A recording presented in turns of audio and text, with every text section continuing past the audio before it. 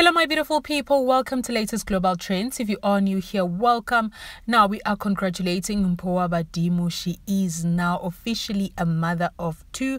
She shared the news on her social media. Now, before we get into it, kindly subscribe to our channel. Please click on the notification bell and also give this video a like.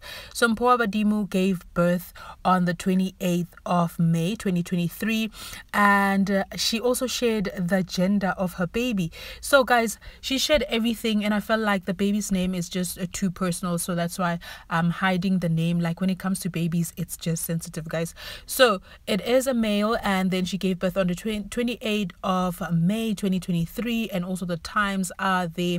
Now congratulations to this mommy. She is going to be an amazing mother and we are wishing her nothing but the best.